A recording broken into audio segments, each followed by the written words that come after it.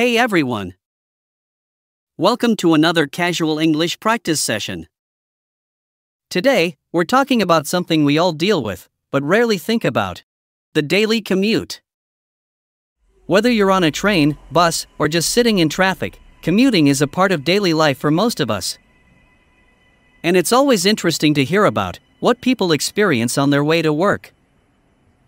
I'm Tyler, and joining me is Liam, who has had some pretty unique commuting experiences himself. Let's dive into it, and don't forget to share your own commute stories in the comments below. So, Liam, how do you usually get to work? Car, bus, or train? I'm more of a train guy. It's convenient, and I can just relax or catch up on reading during the ride. Plus, I don't have to worry about parking, which is always a pain. Honestly, the train has become a nice buffer between home and work. It gives me some personal space to unwind before the day really starts. That's nice. Trains can be pretty chill. Do you notice anything interesting on your commute? Oh, all the time. There's this one guy I see almost every day who always wears the brightest suits. I swear, he's like a local celebrity on the train. Then there's this older lady who brings her little dog with her. It's like a mini community. You get to know over time. It's funny because you start recognizing people by their habits, like who always takes the same seat or who's always running late. That's awesome. It's funny how you can see the same people every day, but never actually talk to them. Do you listen to anything on your commute? Yeah, I'm usually listening to a podcast or an audiobook. I've been really into true crime lately, so that helps pass the time. If I'm feeling a bit tired though, I'll just put on some music to zone out.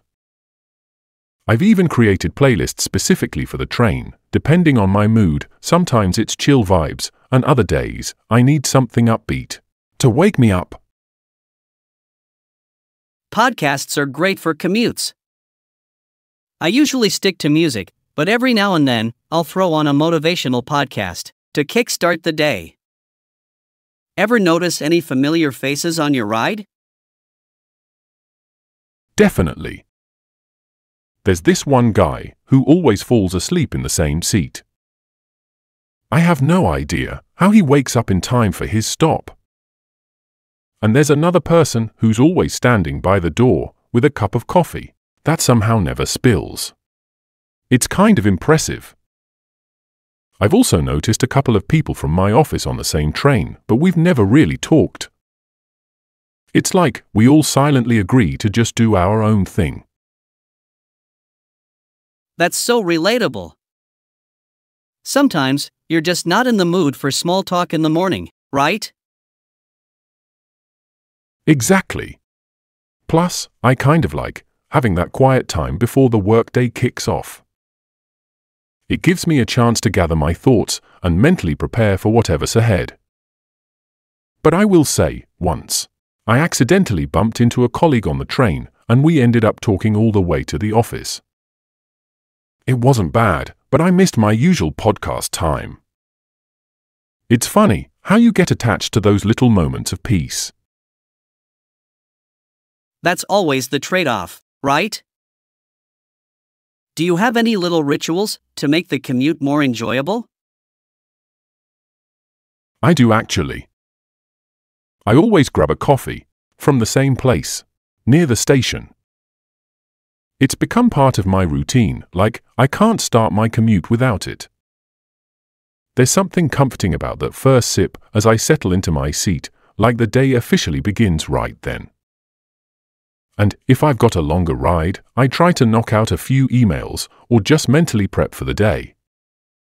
It's my way of easing into work mode without jumping straight into the chaos. That's smart. Having those little rituals makes the commute feel less like a chore. Have you ever had something random or unexpected happen during your commute?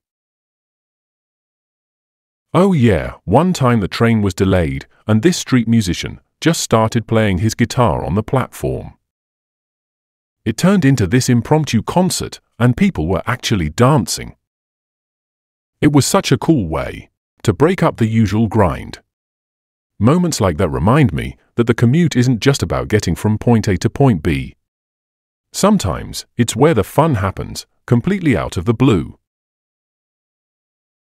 That's awesome. Sometimes, the unexpected moments make commuting more fun.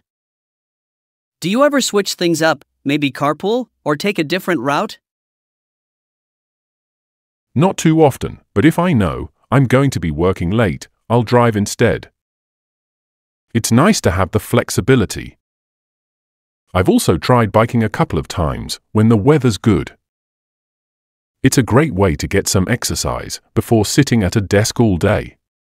And there's something about riding through the city in the morning, it gives you a whole different perspective on your surroundings. You notice the small things you'd never catch in a car or on the train. I bet biking feels refreshing compared to sitting in a car or train. Have you ever noticed any cool spots along your route? Actually, yes. There's this little park I pass by, and sometimes I see people doing yoga there in the morning. It's so peaceful, and every time I see them, I think about how that must be the perfect way to start the day. I've thought about stopping to join them sometime. Plus, there's this coffee truck parked nearby that has the best croissants. One of these days, I'm going to make a morning of it coffee, yoga, and then a ride to work. That sounds like a nice way to start the day. Do you think your commute sets the tone for the rest of your day? Oh, for sure. If my commute is smooth and relaxing, I feel more energized and ready to tackle the day. But if it's crowded or stressful, I can definitely feel a little off for the first few hours at work. It's crazy how much that little slice of time in the morning can affect your whole mood. Sometimes I'll even use the train ride home as a way to unwind and let go of whatever happened at work. I totally get that. A bad commute can really throw off your whole vibe. Have your commute habits changed at all recently? Yeah, I used to drive more, but I've been sticking to public transport lately. It's been less stressful, and I've been trying to be more eco friendly, so it's a win win. Plus, public transit has its perks. You meet all kinds of people, and there's always something to see. It's become less about convenience and more about enjoying the experience. Good for you. It's nice when your commute feels more sustainable. Any big plans for mixing up your commute routine in the future? I've been thinking about trying one of those electric scooters just for fun. It seems like a cool way to get around, especially on nice days. Plus, no traffic. I mean, who wouldn't want to zip through the streets? On a sunny morning, right? It'd be a fun change of pace, and I'm all about finding new ways to keep things interesting. That sounds like a fun idea, Liam. Thanks for sharing your commute stories. It's always interesting to hear what people notice on their daily rides. To our viewers, we hope you enjoyed today's conversation. Tell us about your commute habits in the comments below. What do you listen to? And have you had any memorable moments during your ride? Don't forget to like, share, and subscribe, and we'll see you in the next session.